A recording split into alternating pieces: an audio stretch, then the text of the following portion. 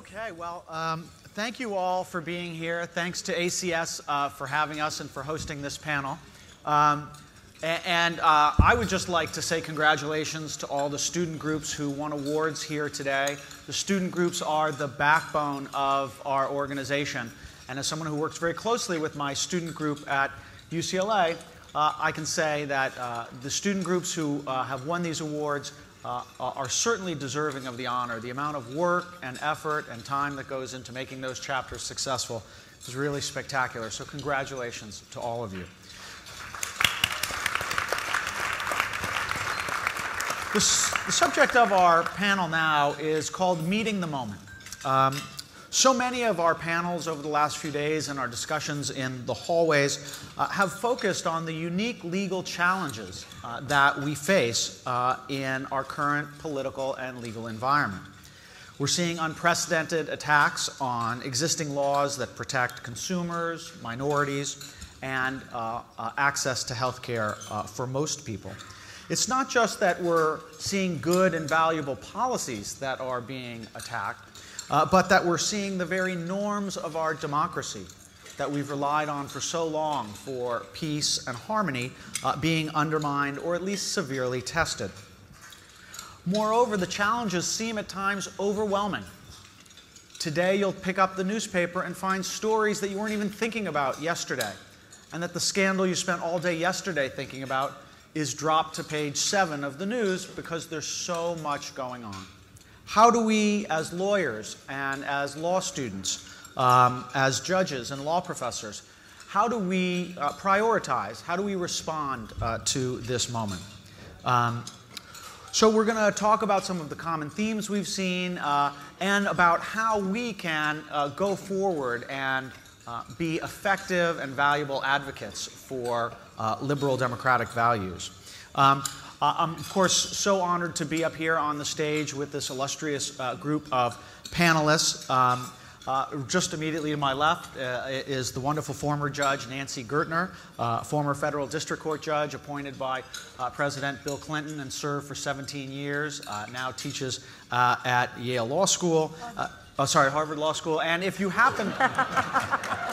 you were quick with that. You should know that Yale still has a page for you saying that you're a professor there. So, because I, I, I That's where my heart is. There you go.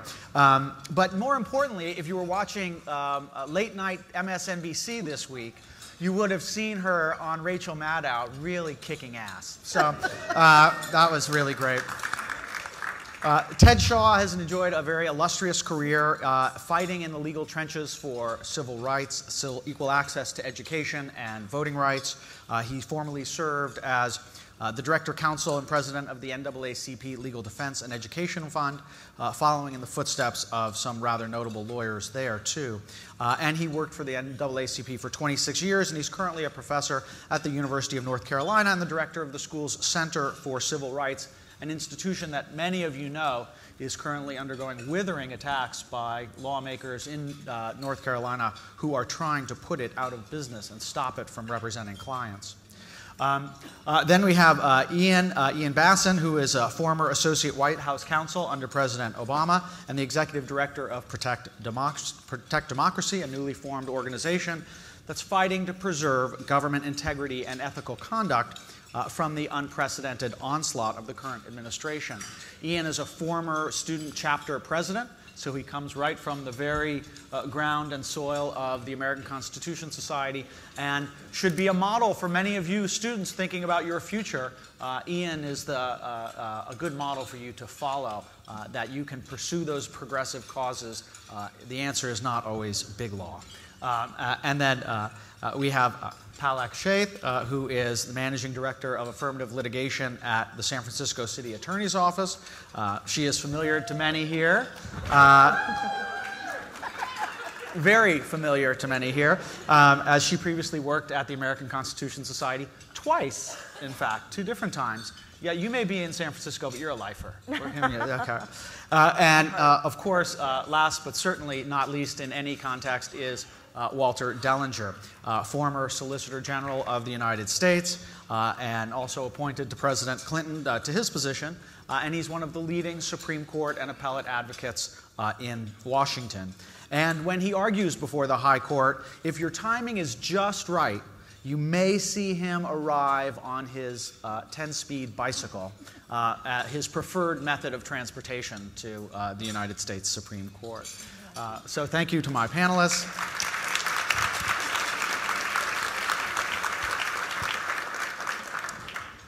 Ted, I was hoping to just start right with you. Um, maybe you can offer us some perspective on the moment we are in. What is this moment? You've been through so many fights. You've been through uh, administrations that have taken on civil liberties, that have targeted and, and attacked minorities uh, and uh, immigrants.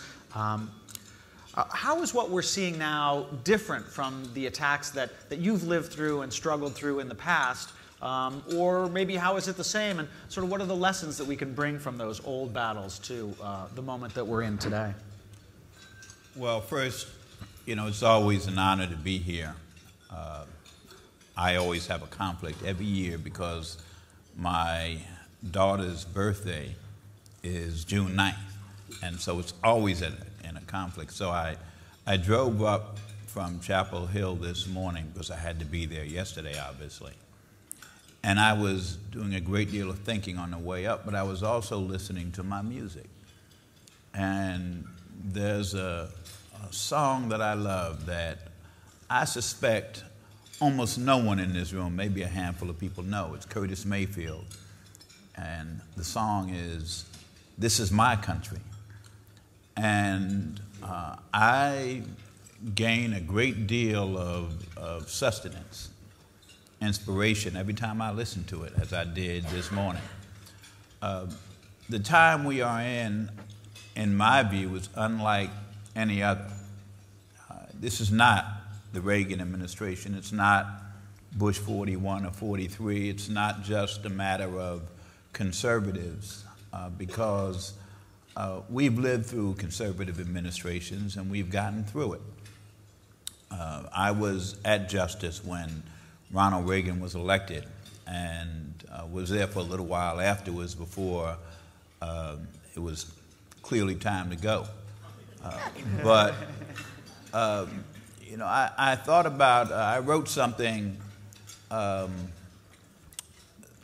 about six months before the uh, man in the White House was the candidate for the Republican Party and that I just posted. I just felt like I had to do it.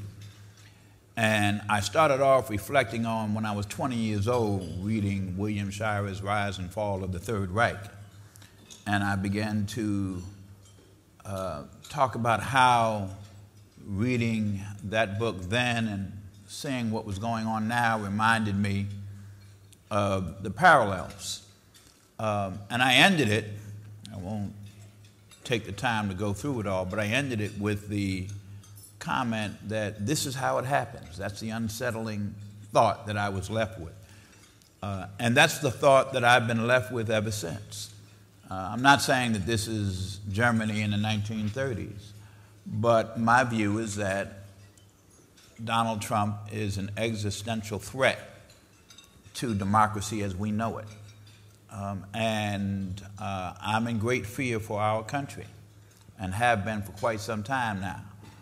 Um, having said all that, uh, you know, I, I think when we talk about how we respond to this moment, which I gather we'll be doing, uh, I'm also conscious of the fact that uh, probably most of us, when we have our stand up moments, if that phrase makes sense. We don't go looking for them. You know, they, they come to us uninvited and we're compelled to stand up. And I think that's where we all are right now. Uh, I don't know how we're going to get through this, but I know that we will because we have to. There are some people who think that this is representative of the beginning of the end for uh, the American Republic. I don't, I don't believe that. I don't think that. I don't think we can allow ourselves to think that. uh, but this is a, a troubling time. Um, and it, it's a time when we have to fight like we never have before. So this is unlike anything that I've ever seen. Nancy, uh, Judge, Judge Gertner, I should call you, please. Judge Nancy is Judge fine. Nancy. That's the compromise these days, right? You can call me Judge Adam for no reason, but uh, we've seen uh, a real major effort uh, to meet the moments. Sort of the, the traditional liberal response is go to court. Like, let's go to court and let's fight Trump in court. And obviously, that's going to be an important part of any strategy of resistance against Trump administration and the, this uh, potentially existential threat that uh, we are facing. And in fact, the courts have been a place where there's been some considerable success so far in challenging uh, President Trump with the, uh, the Muslim travel ban. In case, I don't think there's anyone still in doubt that it is a travel ban, right? We've been made clear by the president um, that that's uh, uh, unconstitutional or has been put on hold. sanctuary cities, the order has been put on hold. So we've had some success. Um, but the question is are the courts likely to be a successful venue in the long run for these challenges against, uh, against this existential threat? Um, uh, or should we be thinking about um, things outside of litigation? Uh, or, or, how should we think about litigation more generally? To, to some degree, after Ted's comments, I think we should be thinking about everything. Um, but I, I, want to, um, uh, in, in one sense, I have to sort of reach back to my Yale Law School days when uh, uh, I used to kid around about how, uh, you know, I took sociology of law 1 through 20 at Yale Law School. Um, uh, and that when I took the bar exam, I thought dying intestate was a disease. I had to mobilize all my resources to be able to become a litigator and then a judge but the other area of my expertise at Yale Law School, other than sociology of law, was the law of mass arrests. And I somehow feel like I have to pull that file out again. Um, I, the, the courts are obviously a critical locus of resistance here, particularly since all the other checks and balances have softened. Right? You know, it's, the checks and balances was the civil service. The checks and balances was the Department of Justice. The checks and balances also in, would include a cabinet that would exercise independent judgment. Um, I have to say that I was worried when Trump was elected on a thousand different grounds, but one was I wasn't sure that the courts were up to the challenge. The, my writing when I left the bench was mostly about how the principal pressure I felt as a judge was to duck, avoid, and evade, was to move the cases, to uh, dismiss cases, to get people to settle, to use all sorts of procedural devices to avoid making a substantive decision. That was really the focus of my writing. So I would have not predicted that the bench that I left would have stepped up to the plate. One of the things about the pressures that I felt was that it was almost as if, particularly in the civil rights area, just using that as a metaphor, it was almost as if you the, the, the doctrines had so narrowed because of the sense that the polity was basically okay, right? That the things were basically working, the market was working, the government was working. In civil rights, you were looking for the aberrant actor. You were looking for the aberrant discriminator who just hadn't gotten the message. Um, and con- that context and that approach, I think, helped affect a very narrowing of civil rights and public rights litigation. Then came President Trump. And it was almost as if the judges who had to deal with the travel ban and the judges who had to deal with sanctuary cities and all the cases across the country suddenly had a different context in view. It wasn't that the market was working fine and the government was working fine. It was suddenly, you were not just envisioning a slippery slope of abuse, which is usually the way the debate happened in, in, uh, in uh, uh, these kinds of cases, what was the slippery slope? This time you could not, you could see it. This was, these were cases that were being litigated in the context of a president that really meant to overreach and ran the risk of overreaching. And I wonder if that's the explanation for this extraordinary set of decisions with respect to the travel ban and the sanctuary cities. How far will that go? So that's one narrative, which is judges then are dealing with this issue with the notion that you're really the last bastion, you're really the last line of defense as against an overreaching executive. That's one narrative. The other narrative, which I uh, worry a little bit about, is the narrative of let's prove to this president and his supporters our neutrality.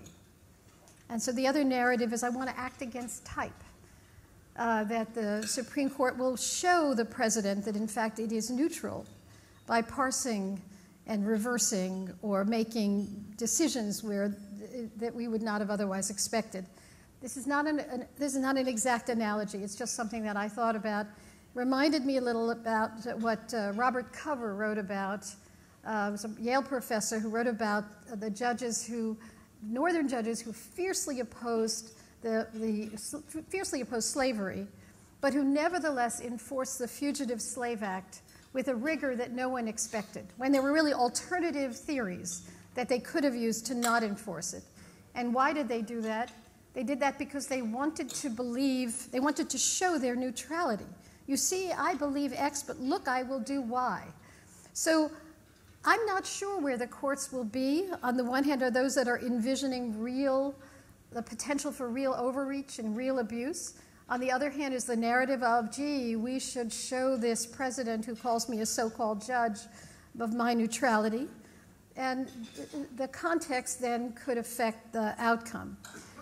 In all the rest of the areas that judges are going to have to deal with, uh, the, one of the other panels was talking about the particular importance of public rights litigation now, uh, civil rights litigation, uh, police misconduct litigation.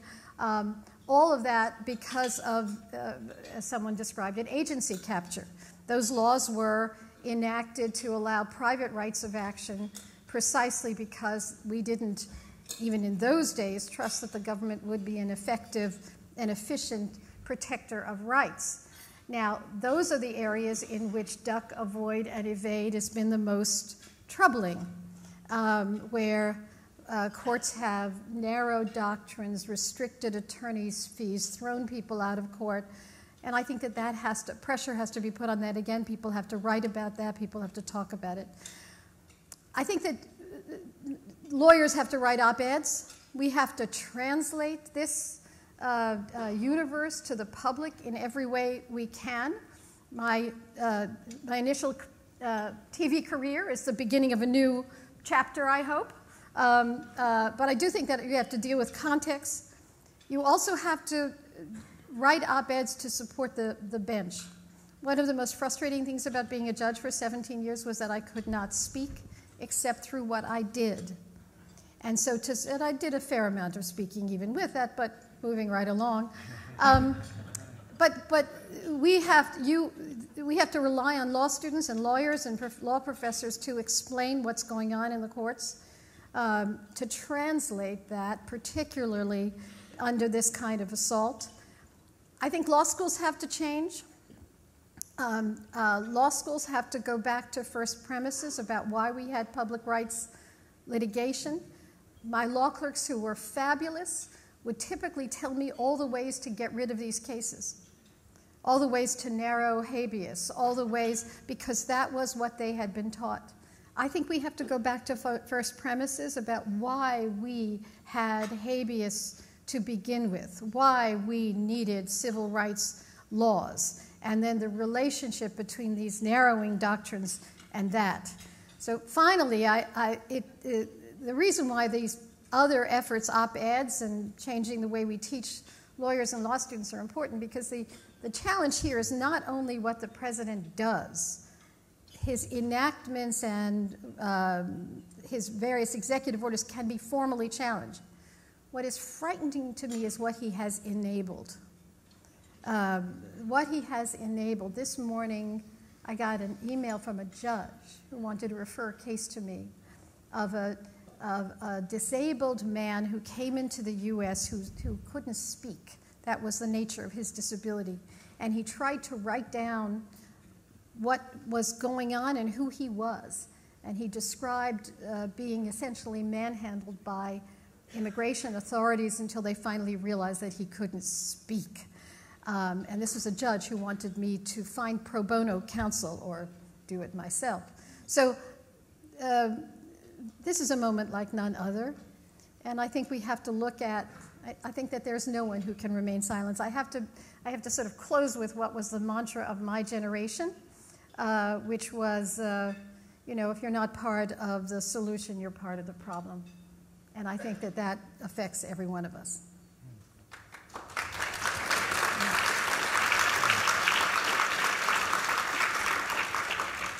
Walter, of course, no one knows the Washington legal scene uh, better than you, uh, and you've seen obviously huge challenges uh, before too. Uh, when you graduated law school, it was the 1960s, a time where there was a lot of significant social and cultural disruption.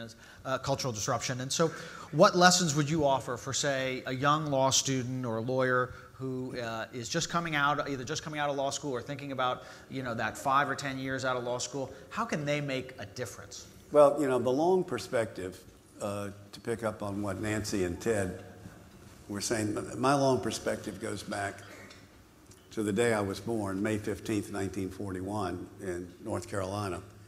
Um, that happened to be the day that Joe DiMaggio, who had gone hitless the day before, got a single in the bottom of the seventh. Unremarkable, except that he got another hit the next day and the day after that and the day after that, all through the summer of 1941, the greatest streak in the history of sports. But what was striking about the day I was born is that no person of color was permitted to play any major league sport.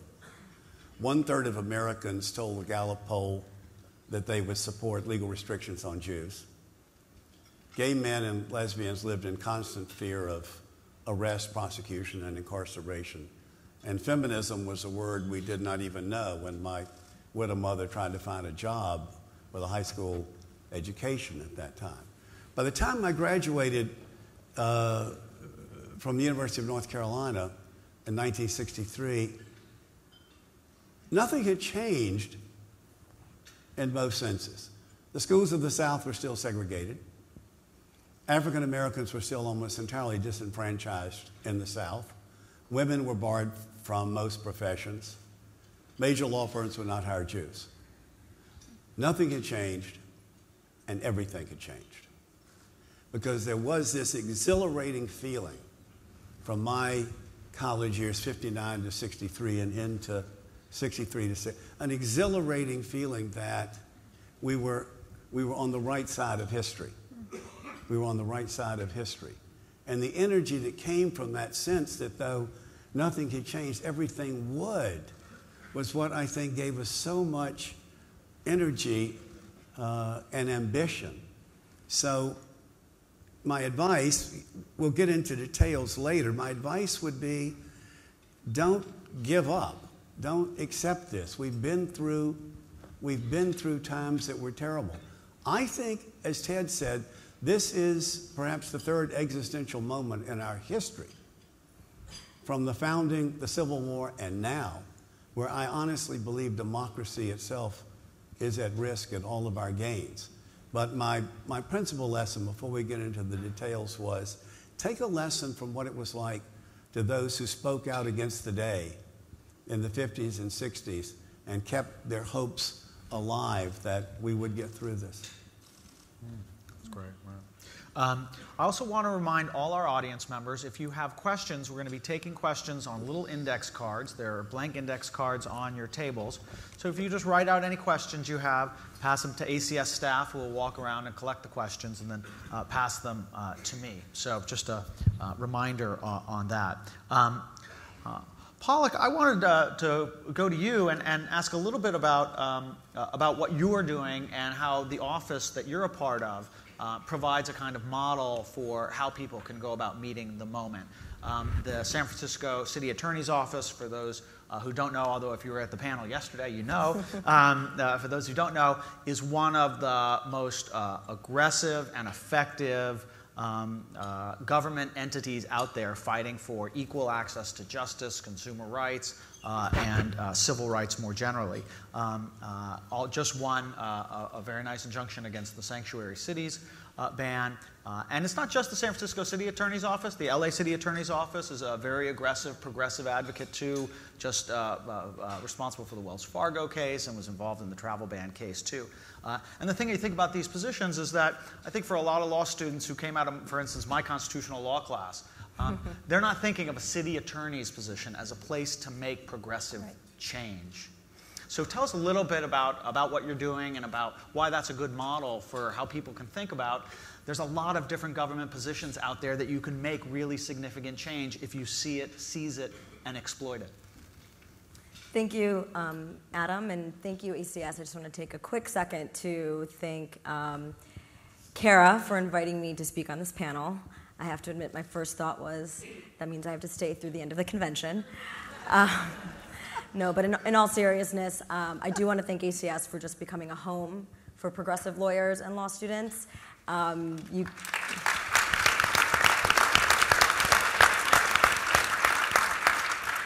now more than ever, I love this family. Um, I, I remember coming to this convention nine years ago when we were at the Mayflower, and I was up in the nosebleed section um, watching my first plenary, and I didn't know anybody in the room.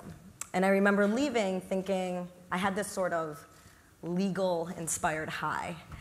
And um, I remember legal, leaving thinking that I want to be a part of this organization and I want to become more involved with this organization and I've since become an ACS evangelist. So, um, so taking that to the San Francisco City Attorney's Office, as you mentioned, and for those of you that were in the room yesterday um, during the Progressive Federalism panel, Heather Gerken spoke of it as a nearly magical place where we get to sue almost anyone for almost anything, stepping in the shoes of the California Attorney General and um, bringing cases on behalf of the people of California without class certification or standing. And though that is a bit of an exaggeration, um, the, the California unfair competition law does give cities in California, LA, San Francisco, and a few others, the tool to bring cases against what we like to call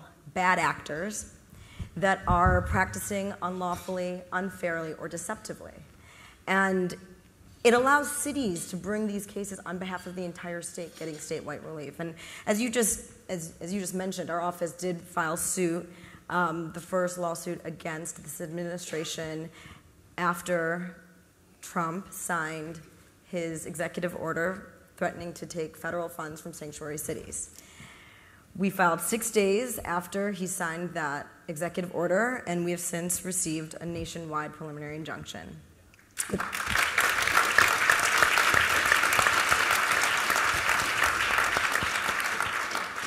But I have to say, um, that is just one example. That is just one incredible example of being a, a local army that, ha- that works on local, largely local issues that have sometimes national import.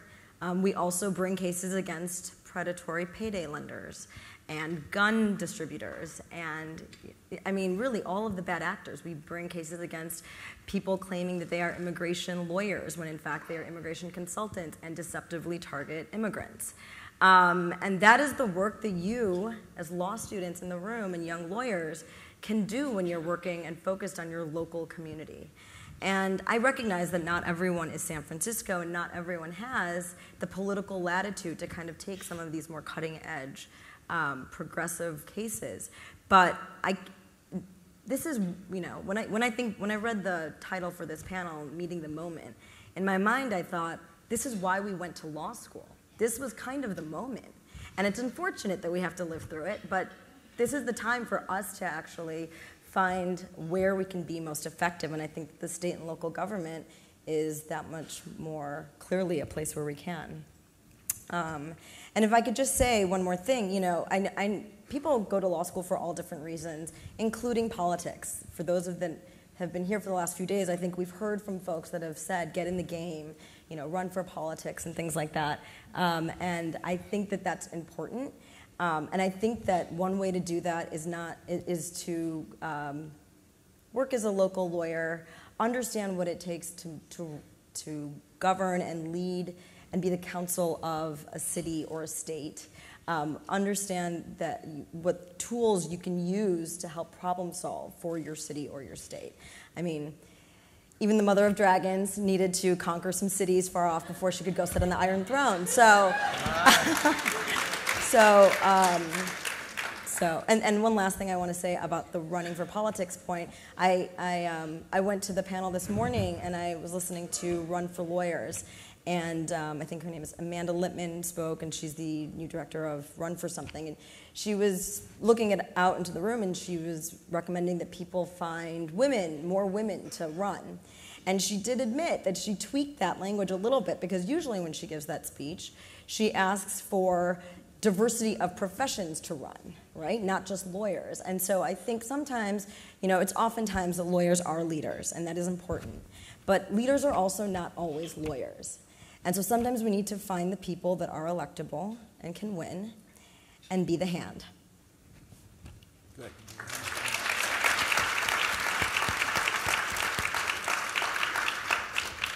So speaking of, of, of, running for office even, it's an important thing because I think we teach so many of our students, it goes right through the first year of law school, separation of law and politics. And we teach our lawyers to be lawyers and not necessarily politicians and, pol- and to be engaged in politics. It's so important um, uh, to understand the role that politicians play in shaping that law and preserving that law uh, and so running for office is an important thing. And in fact, along those lines, Walter, if I can just go back to you for a quick sec, didn't wasn't there some story about um, when you were clerking for Justice White about the advice he gave you for when you go off in the future?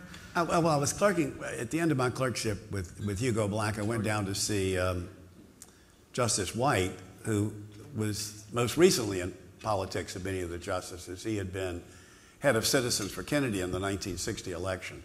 And I said, I'm going to go back to North Carolina. I'm going to be teaching law at Duke. And I'd like to get involved in politics. What should I do? And he said, Oh, you professors. I said, I'm not, I'm not there yet. He said, But you academic types. He says, You all want to write position papers. It used to drive me crazy when I was in Colorado politics. I need people to knock on doors. I need people to knock on doors. And I think, you know, the, the lessons I would draw from that, you know, and, and I feel guilty myself. You need to work in local politics. You need to go back and pay attention to what's happening in local politics. For me, that was writing position papers in the Gantt Helms and, and Hunt Helms races, but I needed to be paying much more attention to what was going on in my state legislature. And if Chapel Hill or, or Bloomington are not the most effective place to work, because that's not where the, you know, the fulcrum is, drive, a, drive an hour away to someplace in your state that is. I mean, I think that's what is, is critically important uh, to get out there and work. And I've pledged myself, because I've been thinking about this, to give money in my state legislative races and pay more attention at that level. That's the way you got to win it from the ground up.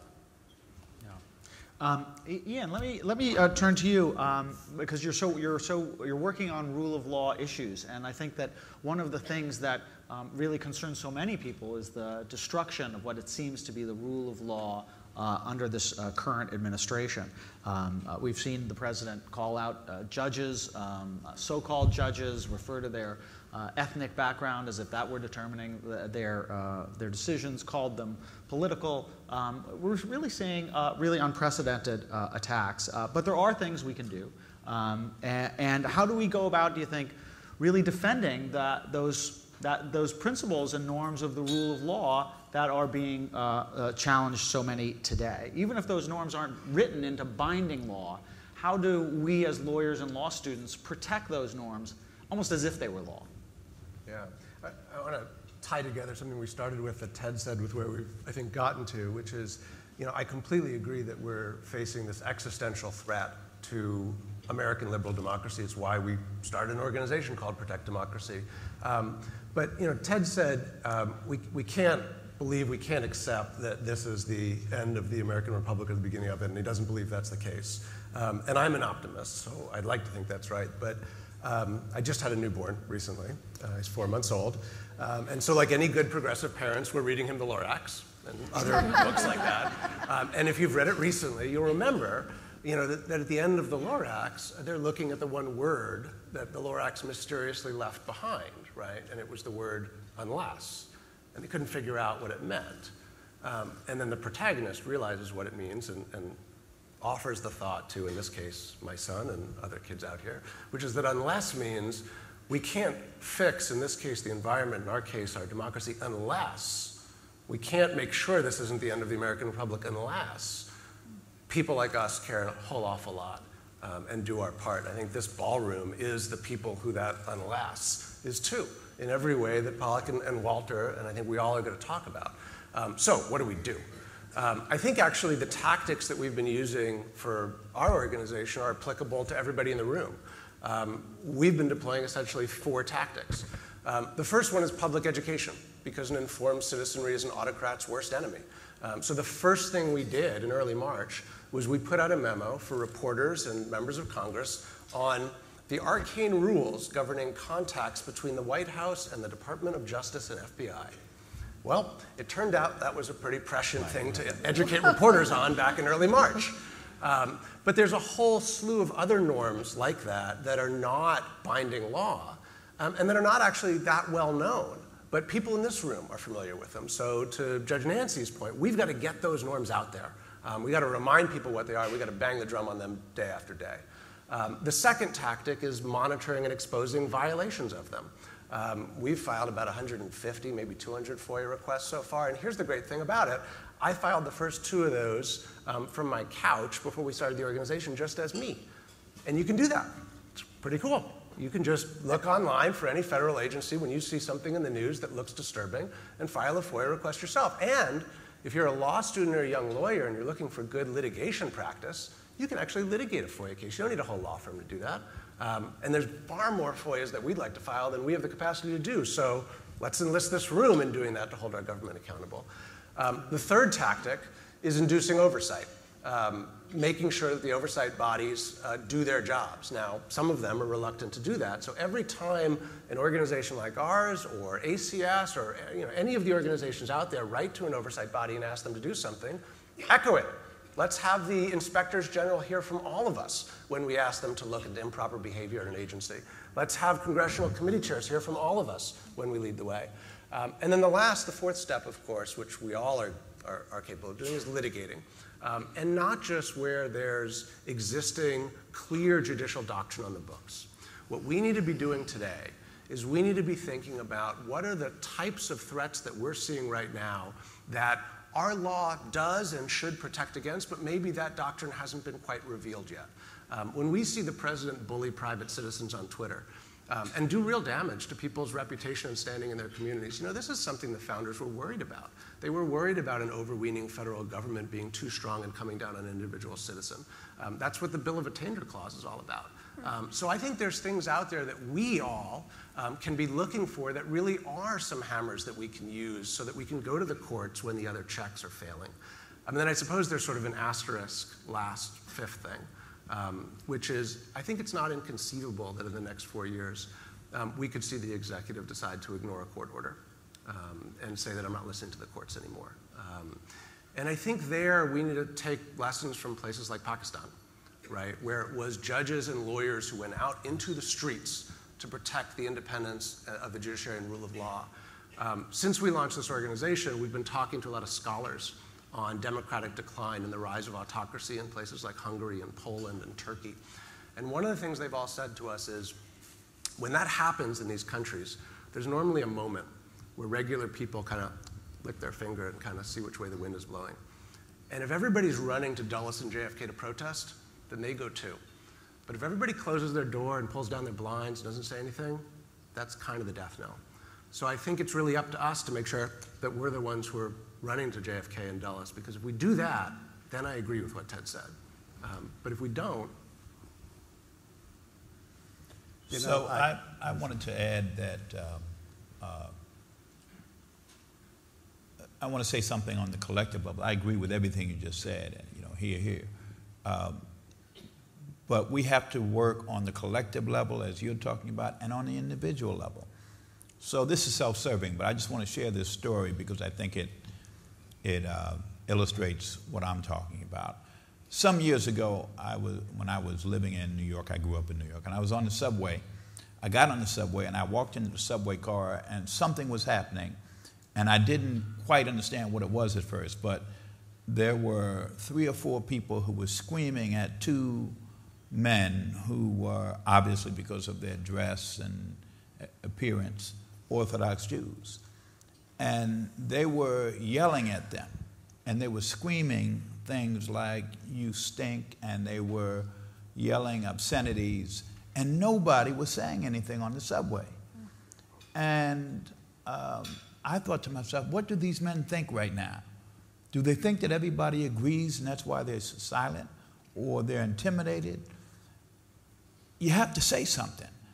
But I didn't know what to say, so all I could think of, and I've told this story before, but all I could think of saying was, shame on you, which seemed at the moment very lame, but it was all I could think of. shame on you. And they turned toward me and they cussed me, and, uh, and um, uh, but the point is this uh, in the moment, right in the moment, in this moment, we individually and collectively have to speak against this threat to our democracy. We have to think, uh, we have to speak against the, the hatred and the bias and the prejudice and the violence, and um, not only speak, but act against it immediately. Uh, because this is a time that, as we are all agreeing, is different. So that's one thing I want to say. I wanted to just add also that um, I think we have to name what is happening. You know, the emperor has no clothes. And uh, I, for one, have come to say that we have a man in the White House, as frightening as it is to, to name it, who is both emotionally and mentally, in my view, unstable. Uh, and I think we have to call it for what it is. Some people are beginning to say that, and you say, well, what do you do about that? Well, you know, uh, obviously there are constitutional provisions that may or may not eventually come into play. But the starting place is to name it. Uh, and so I think it's important for us to do that. Um, and then um, I, I just think we ought to be saying what is obviously true. Uh, this is a man who occupies the office of the presidency who doesn't understand what a fourth grader would understand about how our government operates. He has no business being in this office for all kinds of reasons. Um, he wouldn't know the Constitution, uh, Mr. Khan, if he tripped over it. Uh, but because of that, he's stomping all over it, mm-hmm. or is poised to do so. And if anyone is going to speak to that, it's the people in this room. Uh, Although I, I, I keep praying, and I'm in North Carolina, so Lord knows I'm praying hard about it. I'm praying that uh, people in the Republican Party and conservatives in general, that they begin to put country above party. Um, we need that so badly.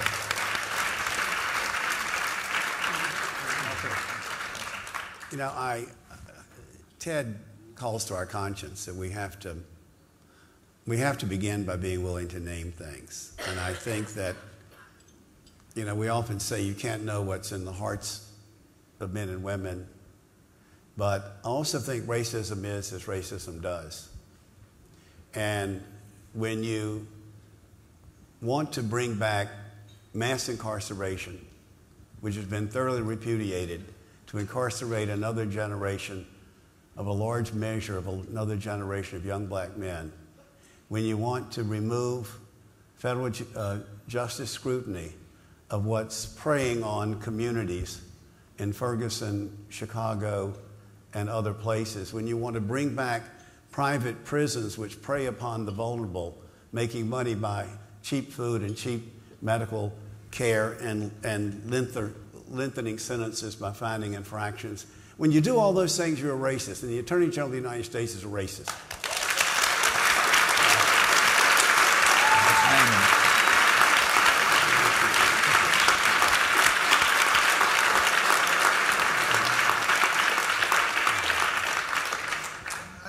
Pick up also on, on, one thing that Ted said at the end, which is that a lot of these issues that we're talking about, these rule of law issues, they bridge the divide between liberals and conservatives. Um, it's hard to make a mass appeal to conservative lawyers. Um, but I would imagine that most everyone in this room probably has a friend in the Federalist Society or a friend who you deliberate and debate with who's on the conservative side, and you have that personal relationship.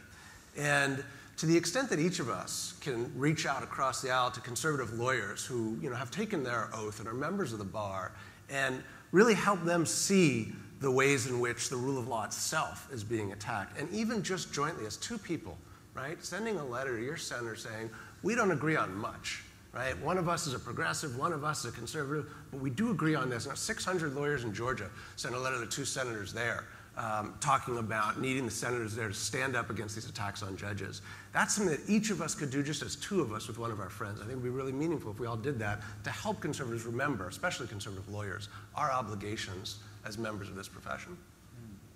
Now, with Well, I just, I also, I do want to think about what the point is that is too much.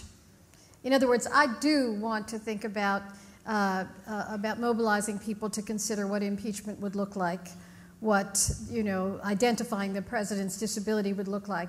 And since that is obviously a political judgment, how do you mobilize the po- politics, not just who's the Republican votes, but how do you mobilize the polity, the people, to understand uh, that, that this is a president who has crossed the line, is about to cross the line in other areas, and a president who is disabled. I, I keep on getting back to the media. I keep on wanting to turn on the television after some speech that the president has given and see Anderson Cooper or whomever turn to the camera and go, This president is batshit crazy. right?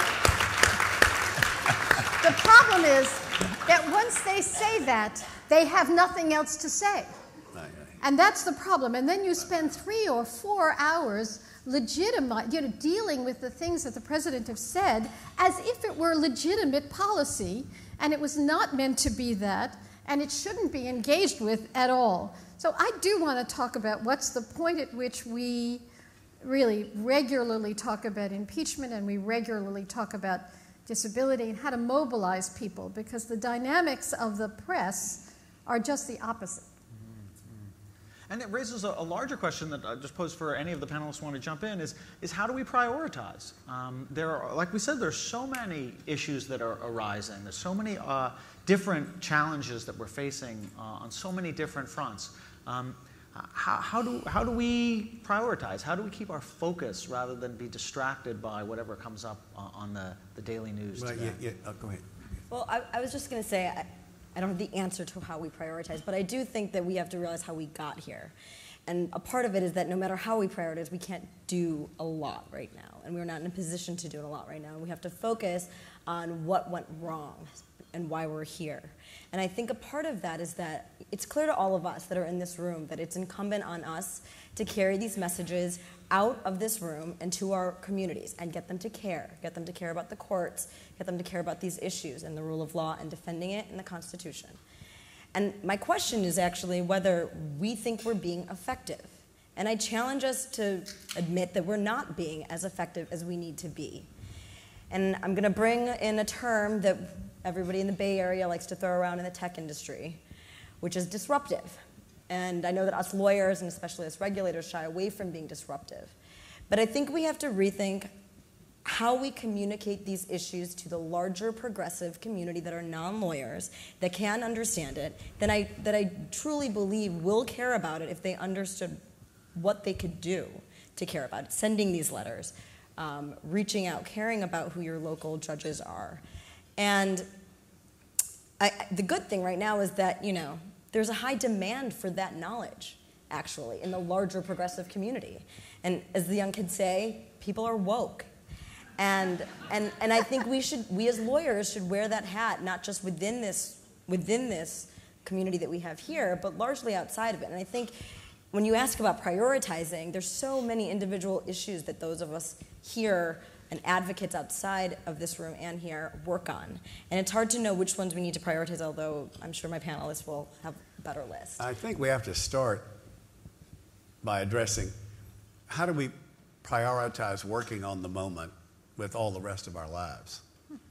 and I'm, I'm struck by the recollection of an exchange between Abigail Adams and, and John Adams during that revolutionary moment. When she wrote to him and said he was in Paris You're, you're never going to museums, you're not looking at the, the sculpture. Why do you men spend all your time thinking about politics? And he wrote back and said, we and this is a paraphrase, but it's close, we must think about and study war, politics, and government so that our sons may study commerce and science and math so that our grandsons and granddaughters may study art and literature and music. But at this moment, you know, we have to turn our attention to politics. To be practical, I think the 2018 House races are essential for a progressive America, just to be concrete. Secondly, I think state legislative races that are going to affect redistricting, where we have to battle against gerrymandered odds to get something back, to have something like a level playing field.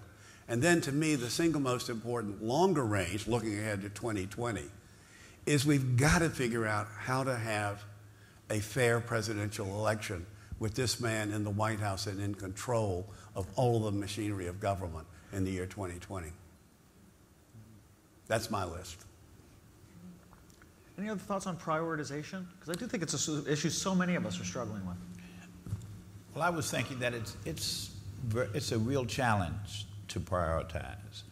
I listen to the news, I watch the news, I read the news, and I see that the president says something about what's going on in the Middle East, which uh, reflects a total absence of the beginning of any understanding about um, how governments operate, um, about diplomacy, uh, about how to um, uh, interact with other countries and their leaders. Um, and I think to myself how dangerous that is and where it could lead. Uh, maybe that's not something that I, as a law professor or you know, a civil rights lawyer, would find a lot of purchase in if I was to begin to talk about that. There are other people with more expertise. Um, but I do think about what expertise we all have in this room, and what we do know is law and government and how it ought to operate. And there's so much that Donald Trump puts out there and his people, my Lord, uh, that you know they put out there that is just flat out wrong and dangerous. And I don't think we're doing enough to call them on it.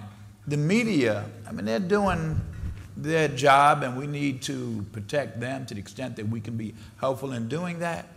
But they also are very intent on showing that they're walking down a middle path. Somebody needs to be saying that this is just not true, it's not right. I mean, the media does that sometimes, but I think that we have to be calling them on how government works. He, he came into the White House without any understanding or any intention to work with Congress. You know, he thinks he's the Lone Ranger.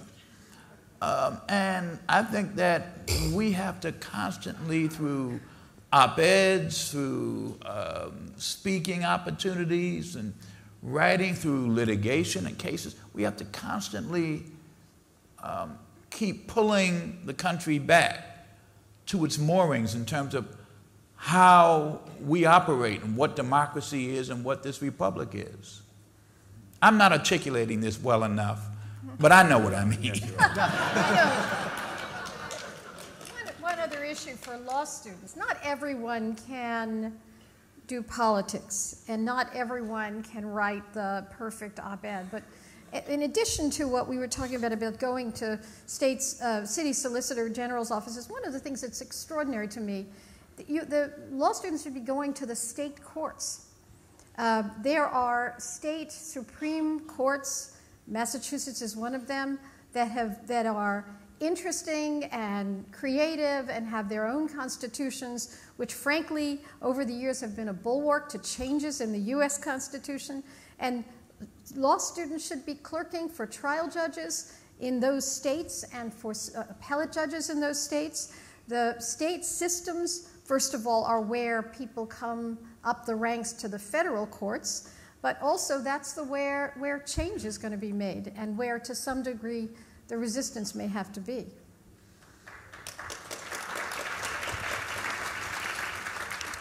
Um, a question from the audience is, is, is there a worry that there's too much focus on Trump and not enough focus on the larger structural issues that, um, that people who support liberal democratic values should be focused on, the concentration of wealth, um, uh, the lack of civic engagement uh, among uh, the people, uh, lack of excitement about voting, uh, too much money in politics, these kinds of issues. Um, while we're starting to focus on emoluments and conflicts of interest and government ethics, um, how do we keep fighting for those other issues as well so that you know Trump's, Trump, Trump's administration will, I hope, one day end. I say I hope. Um, yeah, that will, but, but how do we go back? We, I mean, there are big issues that we needed, to, we needed to be working on long before Donald Trump was elected. Um, how do we think about those issues in light of the Trump administration and the Trump years? I think right now we're in a rearguard moment right? It's going to be very hard to do things like reform campaign finance laws or address structural inequality with the current government that we have.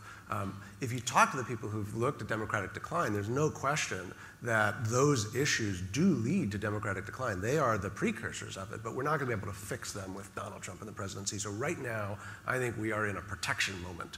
Um, and once we get past that protection moment, once the administration ends, then we immediately need to turn to fixing these underlying things. And, and one thing that I think is critical for this protection moment is the, the Russian dissident Masha Gessen, who's written a lot about her experiences in Russia, says one thing that we all need to do in this moment that we're in, this goes to Judge Nancy's point about what the red lines are, is write down right now, hello, write down right, right now what are the limits? What are the red lines that we just cannot afford to cross? Because we are in danger of the frog in boiling water problem, where things start to drift so much that we may not notice it happening. I mean, if I had told you a year ago that the President of the United States was going to fire the FBI director for looking into and brag about it to the Russians while giving away classified intelligence to the Oval Office, you'd say I was an alarmist and I was crazy. Right.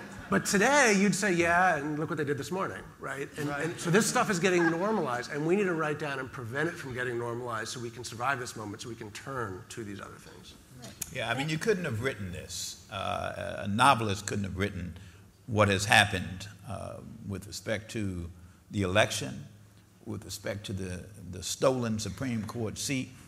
Um, you know, you just could, and, and this man was in the White House. And so that's right. But we're also, you're right, we're in a defensive mode. Um, uh, but at the same time, uh, this week, as we know, while all eyes were focused on Comey's testimony on Thursday, we also know what was going on with respect to Dodd Frank. Mm-hmm. Uh, and uh, the beginning of another move on uh, the Affordable Care Act. Um, and, you know, go on and on. So there is this agenda that's being pursued by this Congress who have made, a, I think, uh, an unholy deal um, with uh, the president uh, because they think that they can use his presidency somehow. Um, uh, so even though some of them may not like him or be comfortable with him, and it's not about whether you like him or not, but um, you know what we're seeing is, uh, you know, this Congress isn't going to stop him. They aren't going to impeach him. I don't think they are, unless something else Another shoe drops. uh, right, uh, and, and other shoes will drop. Yep. Uh, but it's a uh, centipede. Yeah. um, but the point is, is that yes, they're pursuing a, another agenda. I thought in right before November, one night I couldn't sleep. I woke up and I started. I was so excited. I started writing down the list of Supreme Court precedents that we could go after with a new court. You know, and, and we had this conversation, Walter. Yeah, yeah. Uh, thought about the possibilities. We were that close to changing everything that we've known for the last 40 or so years with respect to the courts. Well, that's not going to happen now, um, at least not in this time. Um, and so we are fighting a defensive fight. We have no choice. Okay, so um, I, I, just wanted to say I know that this panel was included um, last minute largely to end on an uplifting note so that we can all go back to our respective places. It's hard, and I think actually prioritizing finding the silver lining is probably the only way we're going to be able to sustain ourselves over the next however many years. Um, but I do want to encourage everybody here to, to remember that um, you know, we have to keep resisting and persisting and organizing. We have to keep doing things both with our lawyer hat as well as our lawyer hat in our non-legal community. Um, I think, Adam, in your last question, you, you asked this question, um, you know, what, what can we do to increase civic engage, engagement? Yes, there's Trump, but what could we have done? Some part of me thinks that we have to be strategic in taking this time to listen. And I think that we weren't doing that as well as we thought we were potentially. And we need to listen to people and connect with people in a way that potentially is the reason why we didn't win this election. Um, and, and I think that that starts now. And I know from a, a quick example of that is that you know, the day after inauguration, I uh, marched along with many, many of you, I'm sure, in the Women's March, and I was marching with a woman that's not a lawyer. And the entire time she was just kind of venting about what can I do in this moment. I'm a doctor, all I do is donate to advocacy organizations. I have no, I've, I don't have enough information, and I don't, I'm not, I'm not engaged enough to know what I can do. And in that moment, I took off my lawyer hat and I put on my ACS hat. And I thought, I know what we can do. We can we can program on a local level and, and bring in people to talk about topical issues to non lawyers. We call ourselves PMS, um, and it stands for the Post March Salon. And we literally meet the same time of the month every month. and um, and these women have gone on, and they are so excited, and they're emailing me all sorts of ideas, and we're you know, we're working on local issues like San Francisco homelessness. We're donating to campaigns Virginia and Atlanta. And I just think when you guys leave here, no matter what you're doing as your professional life, we're all curious. We all went to law school for a reason. This is the moment that we went to law school for. I can't emphasize that enough. Can I just add one other thing? Um, uh, so we're running out of time uh, very quickly. In fact, we've run out of time already. So, um, but let me just say that in terms of the inspiring people, um, people, you know, you're often looking for some takeaway. I think there's a lot of takeaways from this conversation. If you want something to do, to do some direct action, we've heard about filing lawsuits or a pro bono case or filing FOIA requests. We've talked about running for office. We've talked about organizing with your friends and your colleagues to amplify your voice and to get other people involved. Uh, you know, we've talked about finding government offices that maybe are not well being used to pursue progressive values and, and try to do that. I'd like to make a, an ask of every single person in this room. There's several hundred people here. If every one of you, by the time we meet here again next year, writes an op ed and publishes it in your local paper or your local school newspaper, or it doesn't have to be high profile, and if it's in the heartland, all the better. We don't need another op ed in the New York Times. Be, amplify your voice, make your voice heard. Uh, and then, just for a final thought, I'd like to just turn it over uh, to Walter. Uh, I was realizing that my younger son, Drew, who is a poet and activist and educator, uh, 15 years ago, uh, wrote a poem called uh, Hieroglyphic, Stair, Hieroglyphic Stairway. and a brief excerpt is for the moment. It's 3:23 in the morning, and I'm awake because my great great grandchildren won't let me sleep. My great great grandchildren ask me in dreams, "What did you do while the planet was plundered? What did you do when the earth was unraveling? Surely you did something when the seasons started failing as the mammals, reptiles, birds were dying.